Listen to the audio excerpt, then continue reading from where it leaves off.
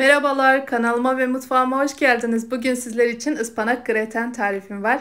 Tek kişilik böyle güveç kaplarda altında kızarmış patatesiyle üzerinin beşamel sosu ve kaşarıyla mükemmel bir tarif diyorum ve tarifimizi yapmaya başlıyorum. Tarifimiz için öncelikle patateslerini kızartarak başlıyorum. Şöyle halka halka doğradım ben patateslerimi. İri olan patatesleri tercih ettim. Her e, güveç kabının altına birer dilim bırakabilmek için şöyle büyük iri olanlarını tercih ettim. Arkalı önlü iyice kızarttım. Çünkü fırına attıktan sonra çok fazla pişmeyecek. Patatesin kıtır kıtır olmasını istemiyorsanız arkalı önlü bu şekilde iyice kızarttım tenceremin içerisinde.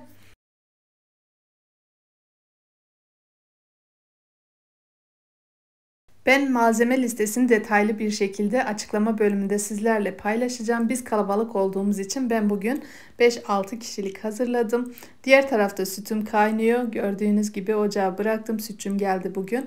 Patateslerimi tenceremin içerisinden aldım ve üzerine piyaz doğradığım bir adet büyük boy kuru soğanımı ilave ediyorum. Malzeme listesini dediğim gibi 4 kişilik olarak yazacağım. 4 kişilik e, malzeme listesini paylaşacağım sizlerle. Kuru soğanlarımı bu şekilde hafif yumuşayıp rengi dönünceye kadar bu şekilde kavuruyorum. Ve üzerine bir diş sarımsağımı ilave ediyorum. Sarımsak e, gretenimize lezzetine lezzet katacaktır. Bu şekilde bir iki döndürdükten sonra yine büyük boy rendelediğim bir havucum vardı. Soğanlarımızın üzerine ilave ediyorum. Ve onu da birazcık soteledikten sonra gördüğünüz gibi soğan, sarımsak ve havucumuz iyice yumuşadı. Diğer tarafta ben Beşamel sosumu hazırlıyorum.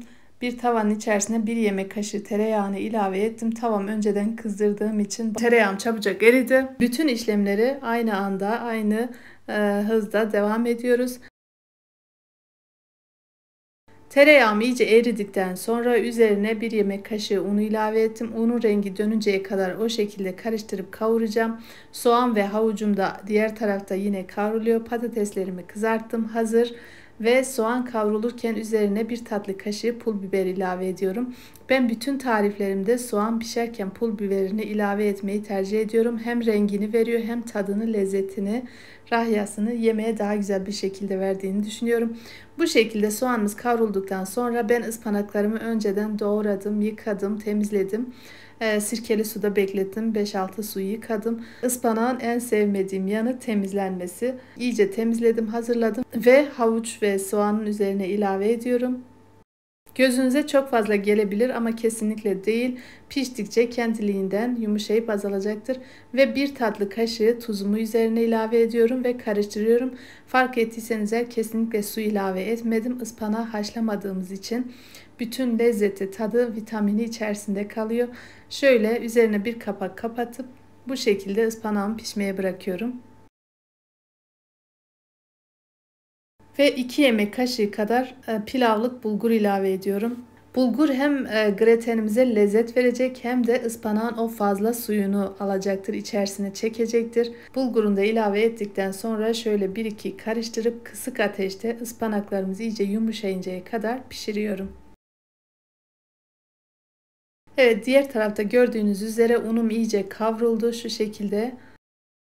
Üzerine bir su bardağı sütü ilave ediyorum. Sütüm az önce kaynadığı için sıcak süt, soğuk süt olmasını tercih ederim aslında topaklanmayı önlemek için. Şu şekilde iyice karıştırıp beşamel sosumu da hazırlıyorum.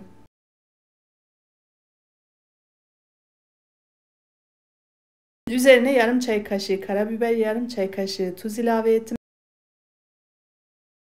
Muskata rendelemenizi tavsiye ederim. Gerçekten çok güzel bir lezzet katıyor. Beşamel sosum da hazır. ıspanağım hazır. Patatesler kızardı hazır.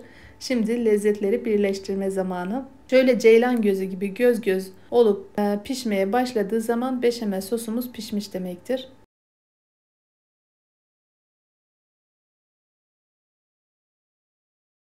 Ispanağımız da gördüğünüz üzere pişti, hazırlandı. En son lezzet katsın diye üzerine iki tane büyük boy doğradığım kapya biberim vardı. Kapya biberlerini de ilave ediyorum. Beşamel sosum pişti. Hazır kıvamı şu şekilde. Ben bir fırın tepsinin içerisine güveçlerimi yerleştirdim. Şöyle porsiyonluk güveçlerim var. Hazırladım. Ispanağım da gördüğünüz üzere çok güzel bir şekilde pişti. hazırlandı. Kapya biber, köz kap, közlenmiş kapya biber ilave ettim. Önceden yazdan hep beraber hazırladığımız videosu var. Sayfamda hazırladığım kapya biberlerinden iki tane büyük boy doğradım, hazırladım. Şöyle porsiyonluk güveçlerim var. Onları da hazırlayacağım ama siz dilerseniz böyle bir borcam tepsinin içerisinde de hazırlayabilirsiniz. En alta patatesleri ıspana, beşamel sos ve kaşar olmak üzere tepsinin içerisinde de aynı şekilde hazırlayabilirsiniz ama ben görseli birazcık daha güzel olsun. Şöyle tek kişilik porsiyonluk olsun diye e, bu şekilde güveçlerin içerisinde hazırlamayı tercih ettim. Hem servisi daha kolay oluyor. Kızarttığım patateslerden güveçlerin her birinin alt tabanına birer tane kızarmış patates bıraktım ve üzerine hazırladığım ıspanaklı harcımı yerleştiriyorum. Bütün güveçlerimi bu şekilde dolduruyorum. Bu ıspanaklı harcı bu şekilde hazırladıktan sonra başlı başına tam bir öğün özellikle vejeteryanlar için kesinlikle doyurucu, bol vitamini tok tutacak bir ıspanak yemeği de olabilir. Üzerine sarımsaklı yoğurt gezdirerek o şekilde de tüketebilirsiniz. Ama ben bugün bu şekilde beşamel soslu kaşarlı lezzet bombası hazırladım sizler için. Bütün güveçlerimi eşit şekilde hazırlıyorum. Benim bu malzeme listemden tam olarak 7 kişilik ıspanak graten elde ettim. Sizler için 4 kişilik malzeme listesini paylaşacağım. Pul biberini ve tuzunu kesinlikle kendi damak tadınıza göre ayarlayabilirsiniz. Az veya çok sizin tercihinize kalmış. İçerisindeki havucu, ıspanağı, kapya biberi ile tam bir lezzet tam bir vitamin deposu. Ispanağını haşlayıp suyunu dökmediğimiz için de bütün vitamini içerisinde kaldı. Ve beşamel sosunu tam soğumadan üzerine şöyle 2 yemek kaşığı kadar yerleştiriyorum ve her tarafına yayıyorum şöyle kaşık yardımıyla.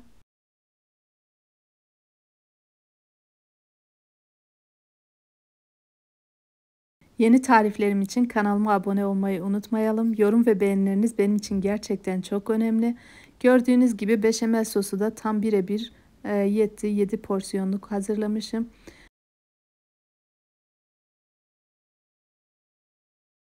Üzerine rendelenmiş kaşar peyniri serpiştiriyorum. Bu şekilde gördüğünüz gibi kaşarınız yoksa mozzarella peyniri de olabilir veya eriyen herhangi bir peynir olabilir. Bu şekilde hazırladıktan sonra fırına gönderiyorum. Önceden ısıtılmış 190 derecelik fırında şöyle üzerleri nar gibi kaşarları kızarıncaya kadar pişirmeniz yeterli. İçindeki bütün malzemesi piştiği için sadece kaşarının erimesi, bütün malzemenin lezzetinin birbirine geçmesi için fırına veriyoruz. Gördüğünüz gibi mükemmel bir şekilde pişti. Güveçlerimiz hazır. Deneyenlere kolay gelsin. Afiyet olsun diyorum. Şöyle kıvamını da sizlerle paylaşmak istiyorum. Gerçekten çok lezzetli, mükemmel bir tarif. Kendinize iyi bakın. Hoşça kalın.